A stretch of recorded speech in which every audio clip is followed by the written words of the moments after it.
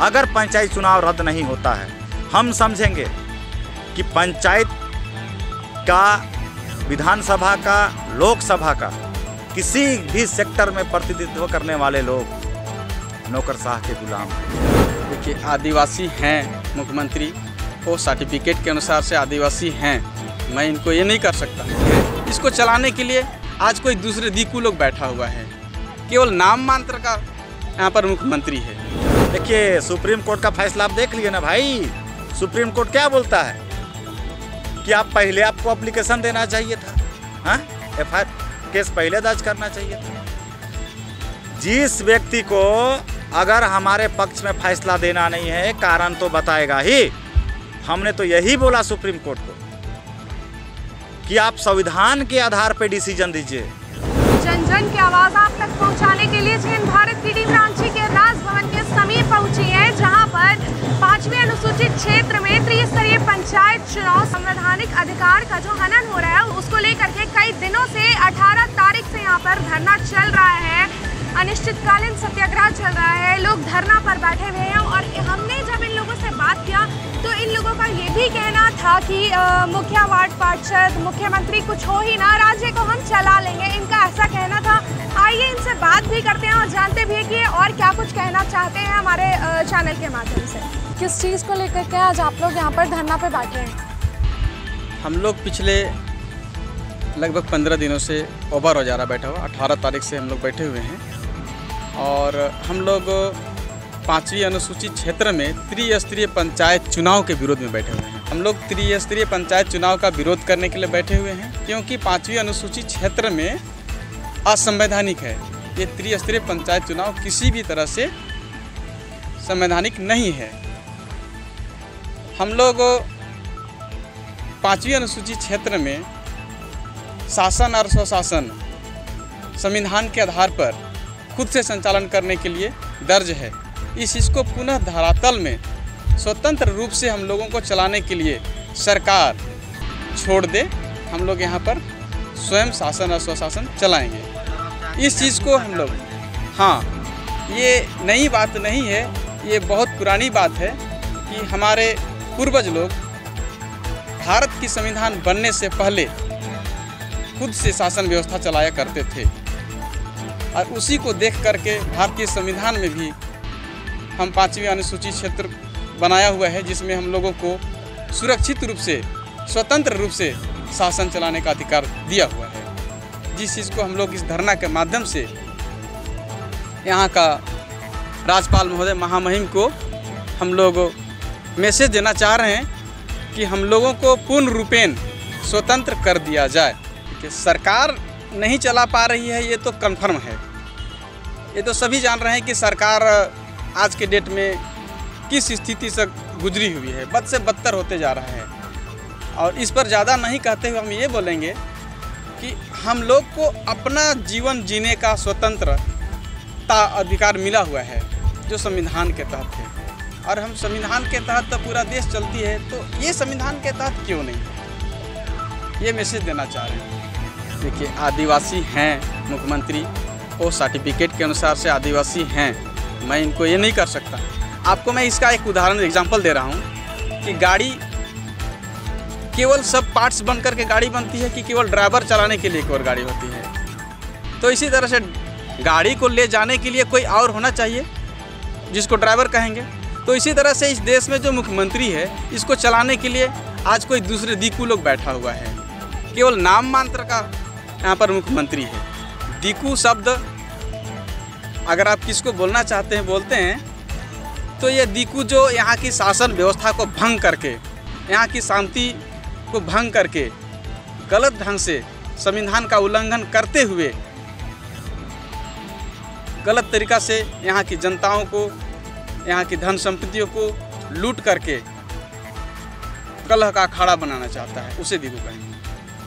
हमारे साथ और भी लोग मौजूद हैं। आइए उनसे भी बात करते हैं कि वो इतने दिन से धरना पे बैठे हैं और सरकार इनकी मांगों को पूरा नहीं कर रही है। जी हाँ हमारी मांग को सरकार पूरा नहीं कर रही है क्योंकि सरकार नाम का कोई चीज़ नहीं है राज्य में ना केंद्र में। और सबसे बड़ी बात है कि जो राज्यपाल हैं आपके ना झारखंड में तो राज्यपाल पढ़े हैं, लिखे हैं, संविधान जानते हैं, नहीं जानते हैं, ये चिंता का विषय है।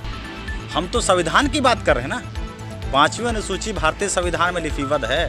धारा दो वन जो है, आप उसको पढ़ो, उसमें जो हमारे लिए जो अधिकार है, आपके लिए जो अधिकार है, उसी के तहत आप करो। इस पांचवी अनुसूची के अनुसार राज्यपाल हमारा गार्जियन है। गार्जियन अपने परिवार में चोर को घुसाए, चोर को रखे ये गार्जियन के ऊपर डिपेंड करता है। और हमारे यहाँ जो लूट का तंत्र कई वर्षों से हो रहा है, उस वक्त हम लोग संविधान नहीं जानते थे। आज इतना बेरोजगारी, भ्रष्टाचार, इतनी समस्या जो पनपा है तो हम संविधान नहीं जानते थे, उसके पीछे कारण आज संविधान जान गए, इसीलिए हम लोग पंचायत चुनाव को विरोध कर रहे हैं, क्योंकि पंचायत चुनाव हमारे यहाँ अवैध है। हमारे यहाँ आदिवासी शासन, स्वशासन नियंत्रण का परंपरा है। इस एरिया में जितने भी जात के लोग हैं, पांचवी अनुसूची के अनुसार सभी के सभी आदिवासी बात समझ रहे हैं? तो क्या है? अभी की स्थिति आप देख लीजिए। कोई संतुष्ट है क्या? मीडिया संतुष्ट है क्या? अधिकारी संतुष्ट है क्या? कोई भी कर्मचारी संतुष्ट हैं? किसान संतुष्ट हैं? इतनी महँगाई बढ़ चली है। नियंत्रण किसी के हाथ में नहीं। तो हम लोग ये चीज़ समझ रहे हैं कि झारखंड को, पूरे देश को आज सांसद विधायक नहीं चला रहे हैं। यहाँ तक कि मोदी भी आप बैठे हैं ना प्रधानमंत्री के रूप में। अच्छा बोल लेते हैं ज़रूर। हम मूर्खों को अच्छा गाइड कर लेते हैं ज़रूर। लेकिन नौ नौकर शाहों के पॉकेट में वो भी चलते फिरते हैं। तो नौकर शाह चला रहे हैं। अगर पंचायत चुनाव रद्द नहीं होता है, हम समझेंगे कि पंचायत का, विधानसभा का, लोकसभा का किसी भी सेक्टर में प्रतिनिधित्व करने वाले लोग नौकरशाह के गुलाम हैं। और ये सच्चाई है। संविधान का खुल्लम खुला उल्लंघन करना सबसे बड़ा देशद्रोही तो लोग समझेंगे। और आएँगे सामने। हमारा समस्या का समाधान होगा। आज नहीं होगा, कल नहीं होगा, परसों नहीं होगा, नरसों नहीं होगा, बरसों होगा, लेकिन ज़रूर होगा। और ये लड़ाई लड़के हम लोग इस जगह को ज़रूर प्राप्त करेंगे। देखिए, सुप्रीम कोर्ट का फैसला आप देख लिए ना भाई? सुप्रीम कोर्ट क्या बोलता है? कि आप पहले आपको एप्लीकेशन देना चाहिए था। हाँ? एफ़ केस पहले दर्ज करना चाहिए था। जिस व्यक्ति को अगर हमारे पक्ष में फैसला देना नहीं है, कारण तो बताएगा ही। हमने तो यही बोला सुप्रीम कोर्ट को कि आप संविधान के आधार पर डिसीज़न दीजिए। आप किसी के पक्ष पक्षपात मत करिए। न्यायालय के ऊपर भरोसा है हम लोग का। बेशक भरोसा है।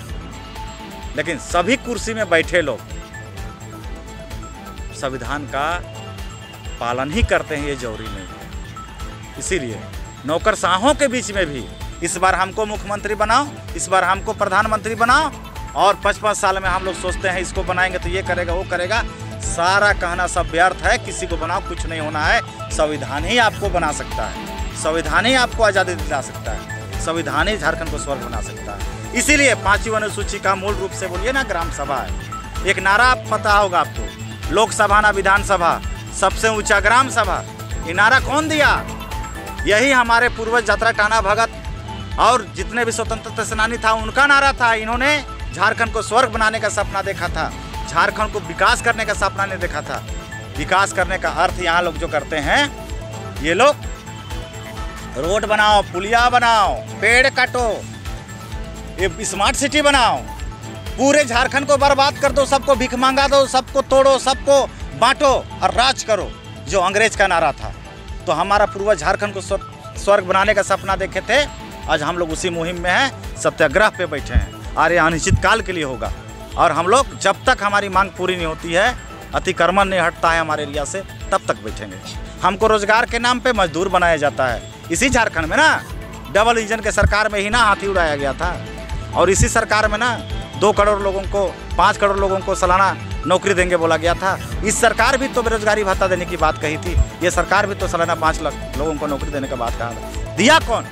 अब क्या बोल रहा है? बनने से पहले लुक लुक भावन सैकड़ों नारा देते हैं ये लोग। सैकड़ों एजेंडा अपना मोनोफेस्टो में डाल के चुनाव लेते हैं ये लोग। और बनने के बाद सबका औकात नज़र आता है। इससे स्पष्ट होता है, भारत को झारखंड को नौकरशाह चला रहे हैं, कोई नेता विधायक नहीं चला रहे हैं। नंदलाल टाना भगत। तो जैसा कि आपने सुना कि इन लोगों का क्या कुछ कहना था, क्या ये कहना चाहते थे? और ये जो सुप्रीम कोर्ट से ऑर्डर आ चुका है कि पंचायत चुनाव होके रहेगा तो वहाँ से तो ऑर्डर आ ही चुका है कि पंचायत चुनाव होगा। पर अब ये भी देखने वाली बात है कि ये धरना कितने दिन तक चलेगा? पंद्रह दिनों से ज़्यादा हो चुका है। अब आगे देखने वाली बात है कि कब तक ये धरना जाएगा, आगे कितने दिनों तक और क्या होने वाला है, ये दिखाएँगे आपको क्या होता है, आगे क्या चलता है। ऐसे ही तमाम खबरों के लिए जुड़े रहे जीएन भारत के साथ। धन्यवाद। अपने राज्य से जुड़ी हर ताज़ा खबरों के लिए आप हमें सब्सक्राइब करें, साथ ही बेल आइकन बटन दबाना ना भूलें।